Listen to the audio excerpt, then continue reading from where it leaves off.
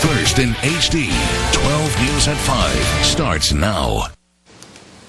This week's star student attends Harmony Science Academy. 12 News HD reporter Ellie Cano explains what drives our star student to give her very best every day.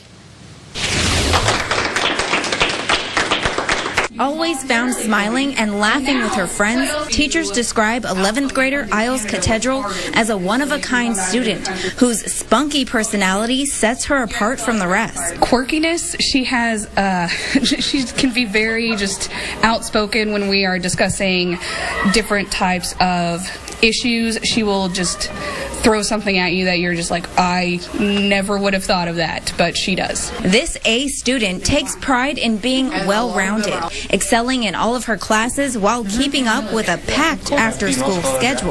Like science Olympiad, Spanish Olympiad, Japanese club the dedication and hard work that she puts into everything she does. Um, she never says she can't do something. She always tries and usually is able to do it. Ailes says she's so involved and takes school seriously because it's like her second home. School is where my classmates are, and to me and for us, class, our class, is more like the family, and our teacher is part of that family. When Ailes grows up, she plans to take her passion for math and science and her love for people to become a doctor and help those in a way that she herself once needed. I want to be a cardiologist because I used to have like a heart problem, so I also want to help the other people that has heart problems. A dedicated, outgoing girl with a heart of gold is this week's star student.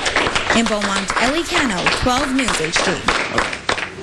To nominate an outstanding student, just head over to 12newsnow.com.